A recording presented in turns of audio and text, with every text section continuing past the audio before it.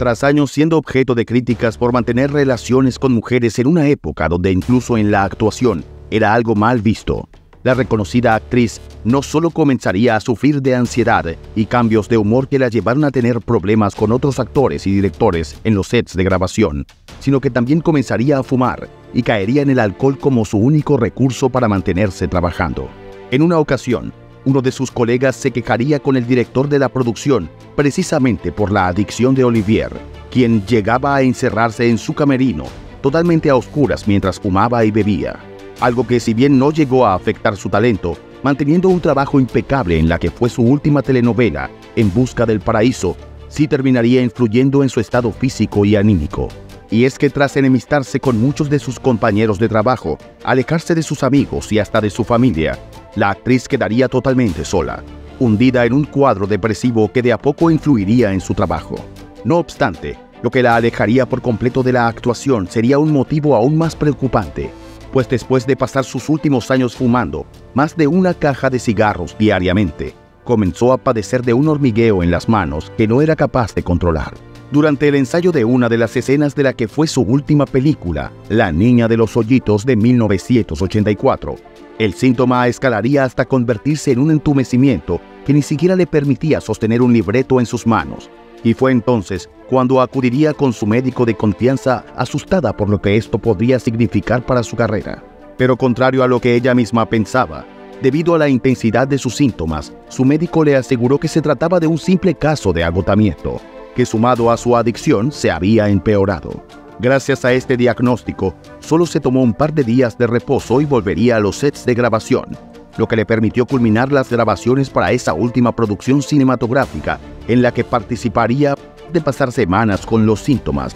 Volvería a hacerse nuevos exámenes y fue entonces cuando descubriría que llevaba al menos cuatro meses padeciendo de cáncer de páncreas. Debido a esto anunciaría su retiro ese mismo año, 1984 y comenzaría a atenderse en el Instituto Nacional de Nutrición, donde fue operada con la única finalidad de prolongar sus días de vida, pues su estado era terminal. No obstante, quien la acompañaría en estos días, su amigo Mauro Santoyo, fue informado por los médicos que no querían darle ese último diagnóstico con respecto a los pocos días de vida que le quedaban y pidieron que le hiciera disfrutar lo más que pudiese los siguientes días, fuera de las salas del hospital. Fue así como tanto sus médicos como Santoyo le mentirían al respecto, asegurándole que la operación había sido un éxito y que podría recuperarse en casa. Mas no se esperaban que la misma actriz insistiera en contar con una nueva opinión médica, pues sentía que algo no estaba bien. Por tanto, organizó un viaje a Estados Unidos para ser atendida en un hospital de la ciudad de Santa Bárbara,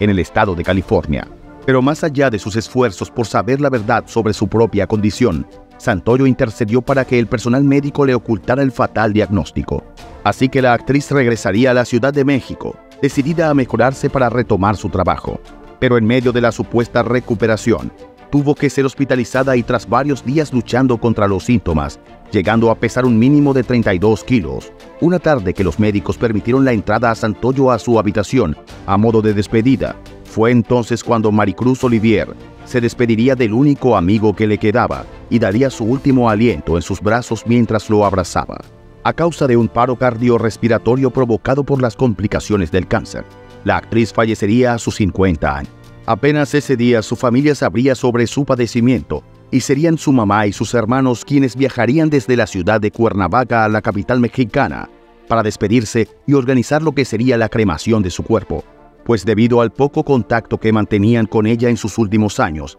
se negaban a realizarle un funeral, ya que no contaban con los recursos necesarios y mucho menos conocían el protocolo que ella hubiese querido tener.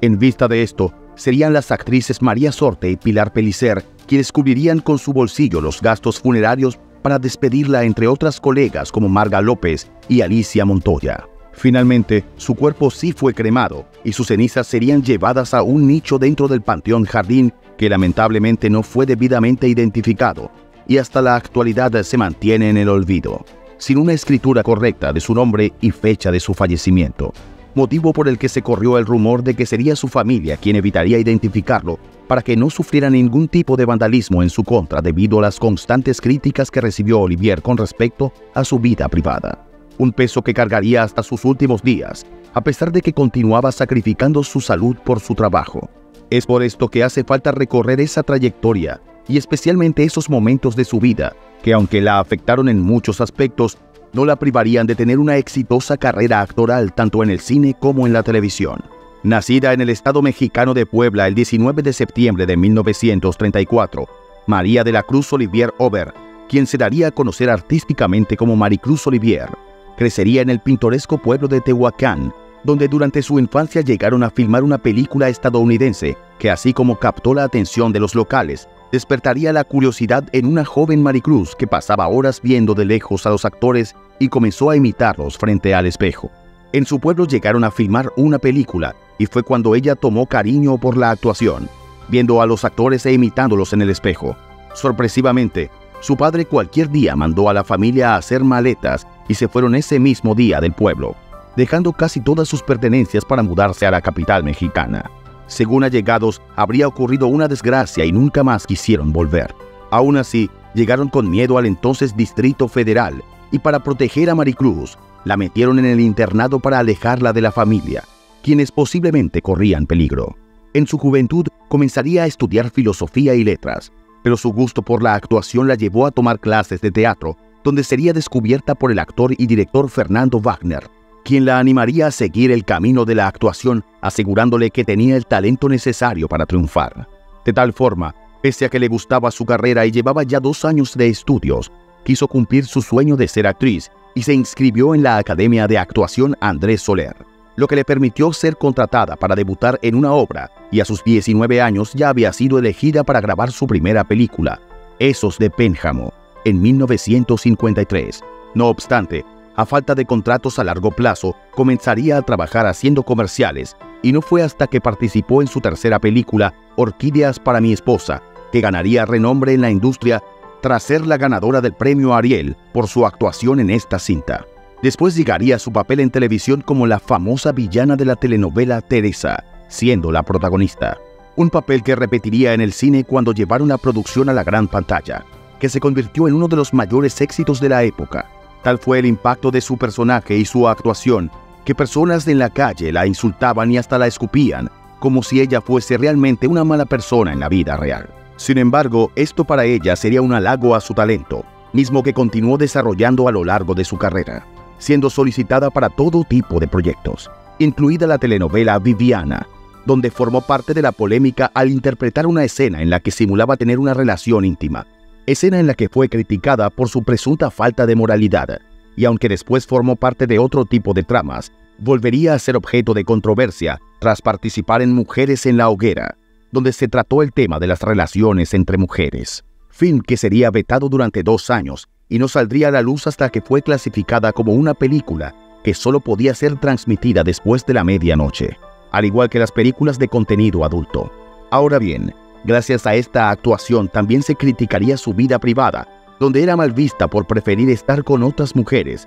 pues en una ocasión hasta quedaría detenida por la policía tras una redada en una fiesta exclusiva de solo mujeres, ya que estas conductas no estaban permitidas. Sin embargo, esta noticia sería ocultada por una de sus exparejas, quien sería figura de la política mexicana, quien impidió que la expusieran en los medios. Pues más allá de sus gustos, Olivier también se ganó cierta reputación entre los medios de haber escalado posiciones en el mundo del espectáculo, por presuntamente mantener relaciones tanto con hombres como con mujeres poderosas, entre los que figurarían Luis Echeverría, quien para entonces sería secretario de gobernación antes de convertirse en presidente de México. Dicho esto, ella negaría estos rumores, incluso admitiendo que se arrepentía de haber participado en Mujeres en la Hoguera, pues siempre intentó mantener su vida personal en privado. Aún así, se reconoció su relación con la también actriz Beatriz Sheridan, quien por su parte no negaba su preferencia por las mujeres, mas sí respetaría la decisión de Maricruz de no salir a la luz con respecto a este tema.